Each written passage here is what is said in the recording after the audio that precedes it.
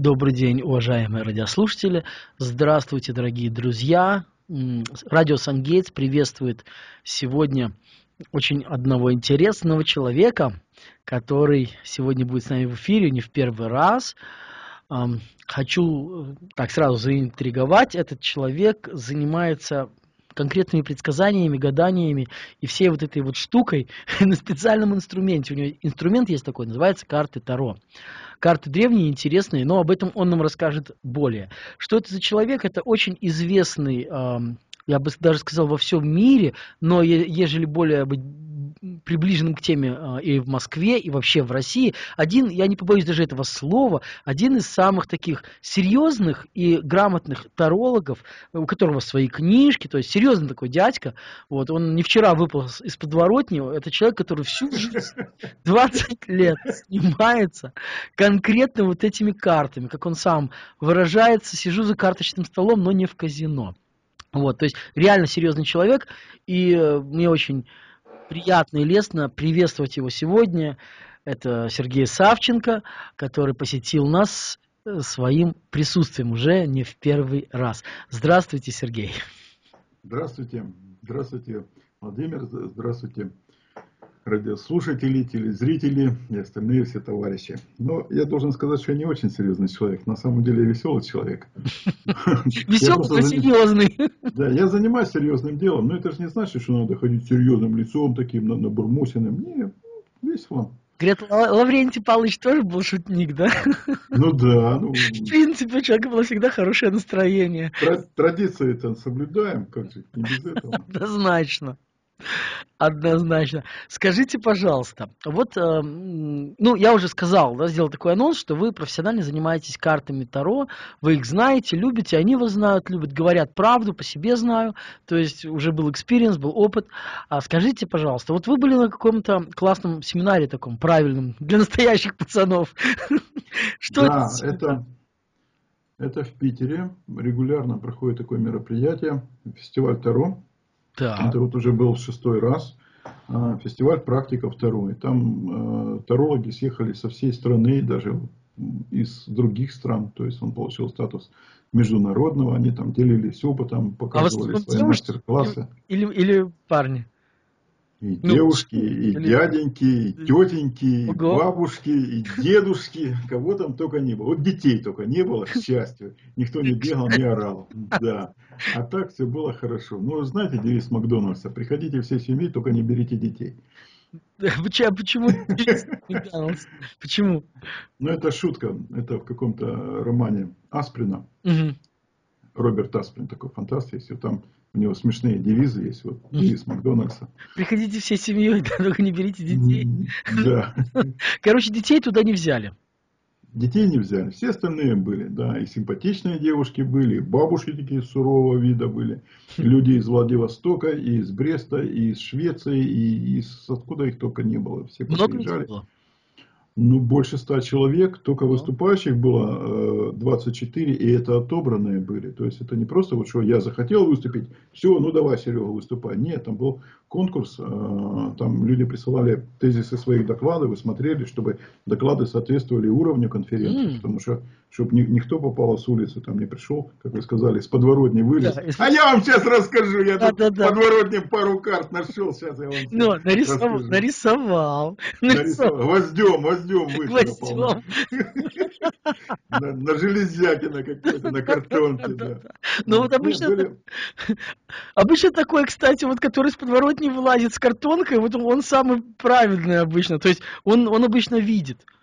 У меня, у меня, знаете, был случай такой, когда бомж какой-то эм, стоял в подворотне, играл на флейте. Я проходил, он сказал, э, ты туда не ходи, да, сюда, сюда ходи, и там вот э, проблема у тебя будет. И реально меня попытались ограбить. Я так подумал, что наводчик. Он просто знал. Ну, он просто ну, знал. То есть иногда да. да, он в курсе, что там ребята работают. Да, да, закралась такая мысль. Но если ближе к теме, а, значит, а вы выступали, да, конечно же? Я выступал. Угу. Выступал, вот у меня, я смотрю в программу, да, так.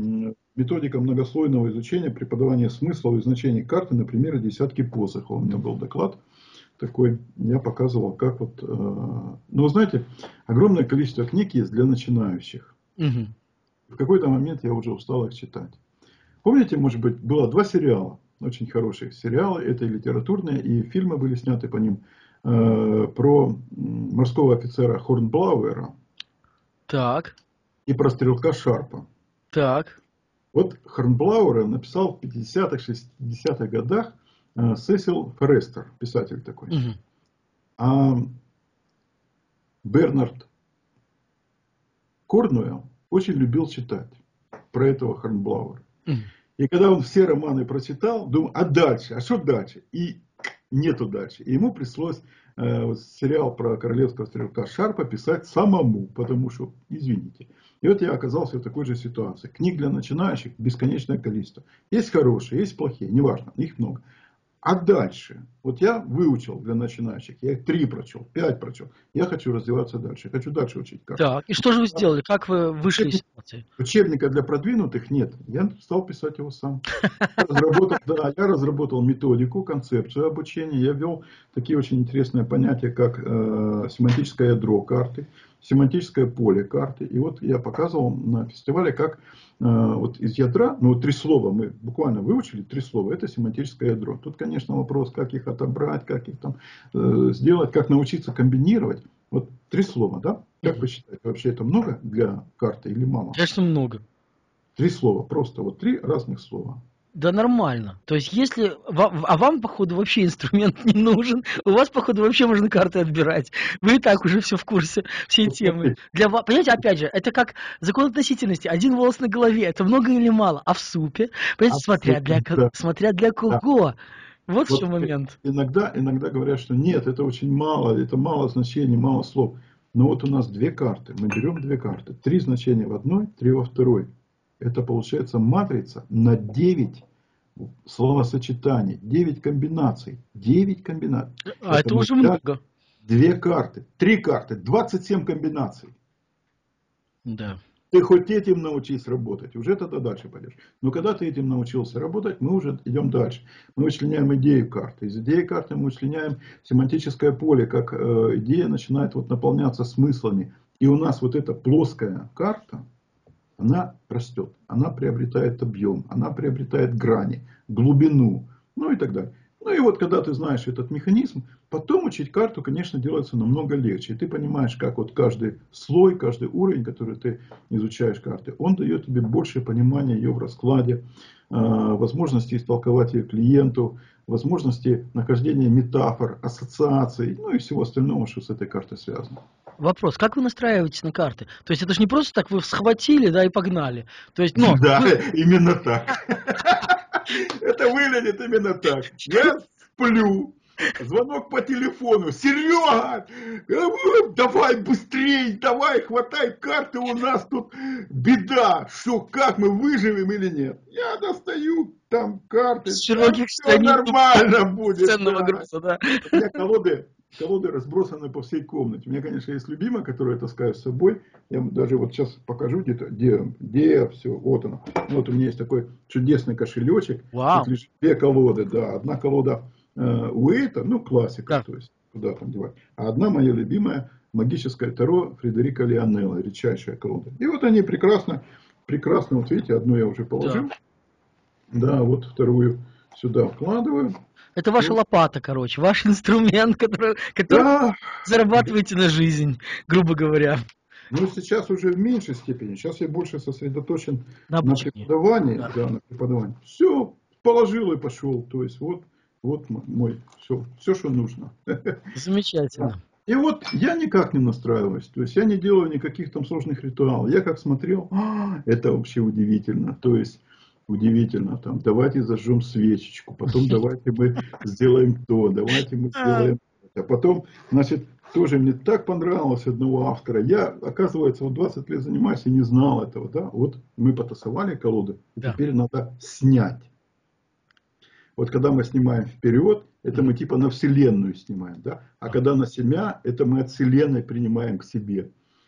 Что за бред? Знаете, Ну, Извините, то есть я, я, конечно, ну, ну, то есть я я имею представление, то есть о том, о том, о чем мы говорим, это понятно, да, у меня тоже есть там пару колод карт, я даже там одну начал рисовать, но дело не в этом, то есть я уровень так обозначаю, что я немножко, ну, чуть-чуть в этом разбираюсь, просто немножко. Но вот то, что вы сейчас сказали, не мне кажется, мне кажется, это, это, на полном серьезе А, да? сказывает, обучает. У меня ну, одна- ну, сразу выгоняйте с семинара, до свидания, Нет, это не на семинаре было. слава богу. Да, нет, там такого не было. Не, ну это Вот. же бред. Ко мне однажды пришел профессиональный картежник. Он вот только карты взял, у него чух-чух-чух, они летают в руке, да? Да. Он по- потасовал и вот таким классическим жестом кладет ее на стол. Хлоп! Типа, сбей, я говорю, верю. Он, ой, ой, извини. Ве- Верю, да? Да, ну, Да. знаете, это когда сбей там. Да, да, да, да, да, да, да, верю. А потом он смотрит, как я вынимаю карты, он вынимает карты и говорит, Серега, если бы я знал, что надо вынуть, я бы все вынул. Но я, говорит, не знаю, что надо вытягивать. Да. Ты скажи, что вытянуть надо, этом- Да, я вытяну. Да, да, да. Нормально. Это удивительное было. А вот, Ну, а, а вот представьте, пр- э, представьте себе на секундочку, вот такой красавец берет колоду, да, и раздает правильным клиентам правильные карты. И это магия уже. Это, гадание, это уже магия. Если я вложу туда достаточное количество энергии, Мгм.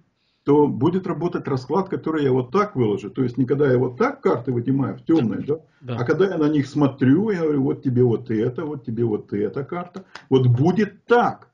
И это будет Всё. магия. Нет, ну так, а, а оно так бывает вообще, так оно работает? Да, работает. Это, просто это тяжело. А у меня есть идея. Я... Некоторые, сейчас, э, некоторые тарологи так гадают. Э, Он, у меня ученик был, Коля. Он говорит, я так устаю. Я говорю, Коля, ну покажи мне. Потому я не понимаю, что там ты устаешь. Он когда начал гадать, я говорю, Коля, так ты же не гадаешь, ты же программируешь, ты же цементируешь это вот дело, бетонируешь там железная оп- это ж опалубка. круто. это Ну, атмосфера». это же реаль- реально серьезная работа. Ну, если вот что-то хорошее давал человеку. Он же был пессимистом внутри себя, он же был настроен на то, что все разрушится, все погибнет, все будет уничтожено и так далее. И он это, я говорю, Коля, меняй свое мировоззрение. Так нельзя с людьми работать, они все умрут, мы останемся с тобой вдвоем, это будет скучно. Сережа, у меня есть к вам э, предложение Давай, корыстное. А давайте... могу отказаться, да. Корыстное, да, от которого, к сожалению, не можете отказаться. Так, таковы, знаете, у нас в Беларуси перевели мультик «Капитан Врунгель» на белорусский язык. Я никогда не забуду фразу «Таковы условия рыгаты». Или зараз, зараз мы пропонуем гурт N' Roses. Еще тот же момент. То есть это в куски. Вот, так вот, что, что, что хотел сказать. А давайте вот таким вот методом попробуем мне запрограммировать очень э, удачный шоу-бизнес с моими песнями. Потому что на днях несколько продюсеров крутых Мы не, с этого, мы не с этого должны начать. А, какой, окей, а с чего? Мы должны начать с самого первого. Оправдано магическое вмешательство или нет?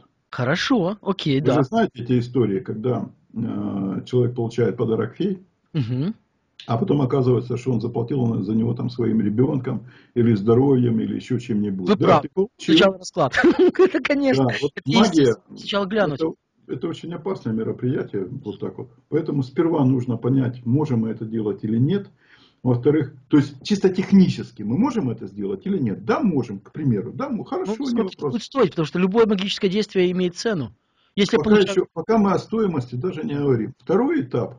а, насколько мы нарушаем баланс. То есть Да. же сейчас же ситуация как-то сбалансирована. Ну И вот да. чаша весов. Вот она качнулась. Да. А потом она качнулась в эту сторону. А здесь ваша голова. И вот, ай, Да. я так не хотел, да? Или мы это делаем плавно и мягко. Или мы это делаем вот так, что оно просто там рвет всю систему мироздания. И вот здесь уже ваш профессионализм. И вот тут вы уже, вы уже блеснете тем, что другие не умеют. Потому что для этого надо быть магом, I'm sorry. Не просто читать карты, а быть магом. Здесь работают другие вещи. И плавно... Ну, я, я не могу сказать, что они не умеют. То есть магов-то много, не я один. Э, Это понятно, вот хороших мало, да, настоящих буйных мало, вот и нету вожаков. И вот я выбираю карты для вас, чтобы посмотреть, Да. возможно ли сделать магию. Мы сейчас смотрим чисто техническую возможность. Не имеет ли это смысл, а можем ли мы вообще в принципе это сделать? Как это интересно. Вот то, что вы сейчас делаете, это магия в прямом эфире называется. И таких Нет, роликов... пока, пока гадание. Пока А гадание что, не часть магии, что ли? Конечно. Нет, гадание это само по себе. Окей. Я сейчас, сейчас назову карты и скажу вам, в чем разница между магией и гаданием. Так. У нас Солнце, Мгм.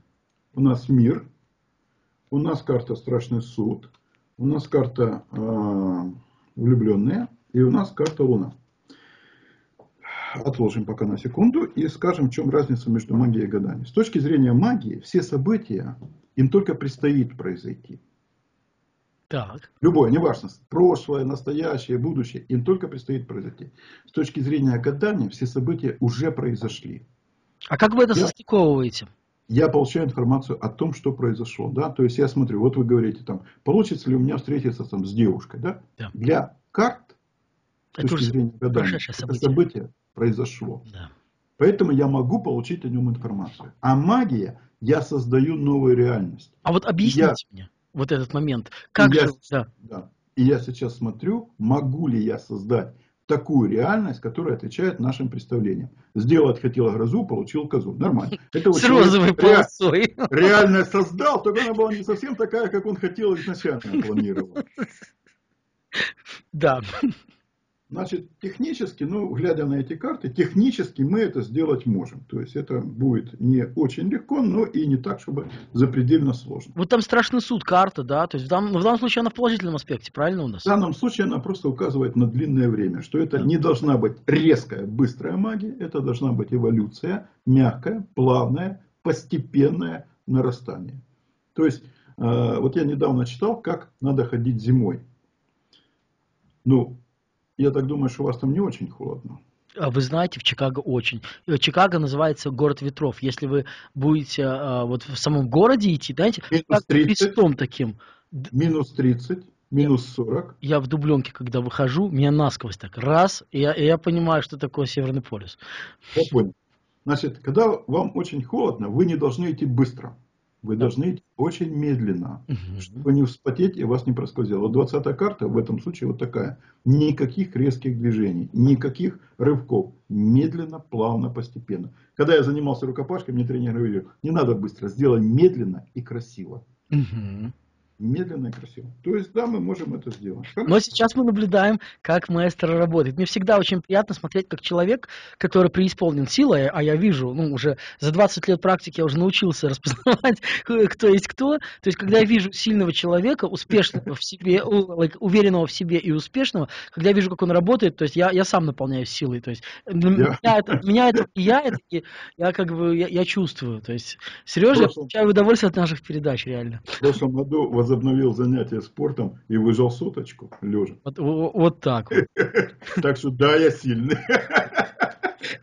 Вопросов нет. У меня, знаете, у меня была такая одна ситуация, я к одной бабушке съездил когда-то давно, давным-давно, и я только запускал проект один. И бабушка мне сказала, вот у тебя там много песенок ты, ты сделал, а знаешь, говорит, пойдет только одна. Ты хочешь, говорит, чтобы одна пошла и очень резко, и ты с ней был очень популярен. Или ты хочешь, чтобы раскрутился весь альбом, и типа ты всегда получал, а, но это будет долго. То есть, типа, ты можешь э, вот долго идти, и ты станешь как таповым артистом. А могу сделать сразу, типа, ты же, говорит, мне не веришь, а я приехал такой нигилист, да, и топ- топор сзади. Он говорит, ну ты мне не веришь, у тебя, говорит, есть песня, говорит, а, пора, говорит, каких-то там насекомых. У меня действительно есть песня, хит про тараканы, если вот э, ввести в YouTube, у меня есть песня тараканы. Говорит, у тебя про насекомых есть песня, говорит, она будет там очень популярная. Хочешь сразу, завтра? Я говорю, хочу. Я так посмеялся, бабушка там что-то пошептала, поделала. Ну все, говорит, садок, домой есть. Приезжаю домой, а на утро нечаянно телеканал, э, один из белорусских э, тогда кабельных телеканалов начал крутить, я уж не помню, что произошло, начал крутить, у меня целый клип был, начал крутить эту песню. Все радиостанции тут же услышали эту песню, взяли ее в эфир, короче, через... То есть я на следующий день практически проснулся звездой. То есть весь город, эта песня торчала из... Это, а мы говорим о Минске, это большой город. Торчала из каждого утюга. И я встаю такой, и у меня там телефон разрывается, там все вообще... То есть вот, но одна песня, как я и попросил. То есть, ну, я-то бабушку решил проверить, а потом, когда я к ней приехал, она уже умерла. Надо было просить сразу, то есть медленно, но много. А я, а я решил быстро, ну, то есть мне же было по приколу, я хотел посмотреть, как это работает. Посмотрел. Вот, поэтому теперь... Четыре, четыре таракана и сверчок. Там, там без сверчка, Без сверчка, да? да. Не Тараканы, в голове потиху размножаются. То есть там Ага. есть э, Владимир Гершанов тараканы. Владимир Шанов, тараканы. Мне надо имя, фамилию и тараканы. И там есть э, видео. Так, хорошо. Ну, а вот да, есть. Есть, да, есть. Да. У меня у меня снят видеоролик и дорогой клип, там 50 тысяч когда-то заплатили мои спонсоры за видеоклип, снимали там ре, реальные серьезные клипмейкеры на, на тот момент Гусев, Асачи, то есть мы сняли очень хорошее, дорогое видео на, на пленку, на, на, там, на, этот, на восьмерку, на пленку, все, все очень четко. Зимой снимали, э, не работал парк, включили, дали денег, включили парк имени Горького зимой, посадили меня на карусели, и, и каруселили меня при, при жутком морозе, то есть я вот такой вот, я должен был лето изображать, и девочки такие же рядом, то есть вот такие, типа лето, она там чуть ли не снег идет, оно на этих каруселях, а все уплочено, то есть надо делать. В общем, да, но я своих денег заработал, конечно, с этого популярности и до сих пор эта песня приносит мне каждый месяц авторскими деньгами достаточное количество. То есть, знаете, в жизни очень важно написать одну правильную песню.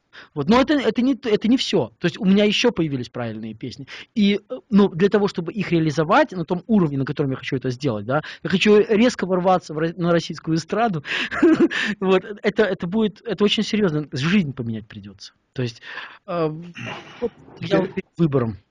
Второй этап. Да. Мы посмотрели, что да, мы можем это сделать. Теперь мы смотрим, целесообразно ли это делать. Вот. Как лучше? Три карты без магии. Я их кладу вот сюда. Естественным путем. И три карты с магией. С магией у нас получается звезда, сила и колесо фортуны. Ох, ох, это просто надо татуировку такую себе сделать на руке. Без магии луна,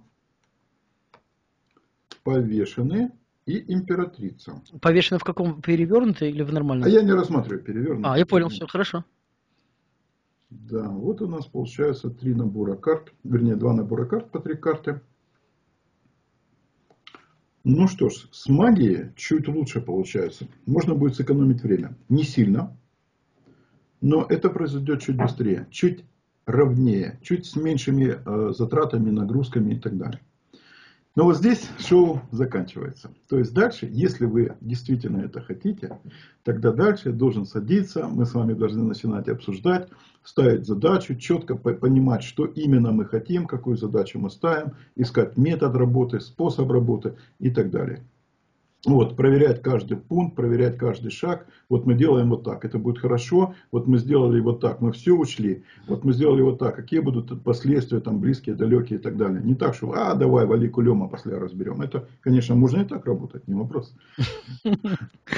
Понятно. Значит, карты нам сказали, что, в принципе, задуманное сбудется по-любому, получается, да, у нас? Да, если сделать магию, то это будет чуть быстрее. Если нет, то это будет ну, в смысле, естественно, это будет тяжело, сложно.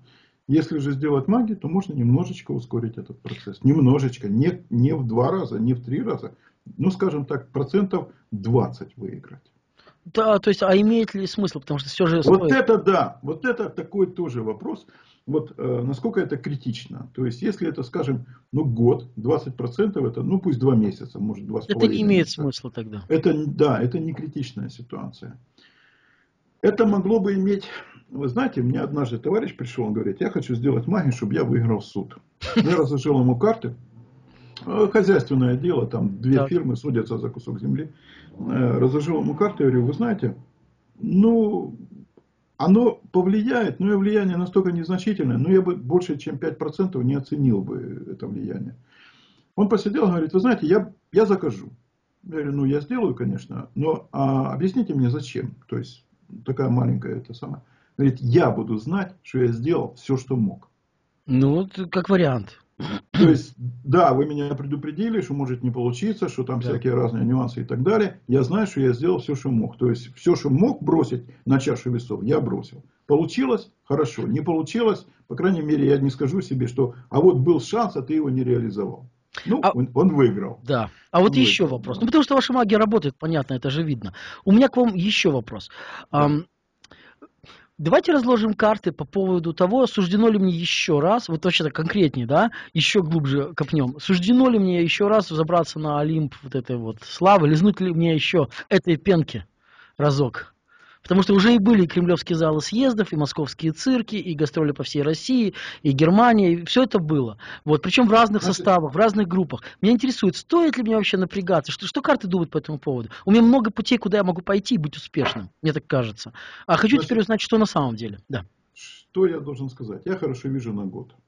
То есть я не буду говорить о 5 лет или там 10 лет. Год. Я хорошо вижу на год. Все. Да.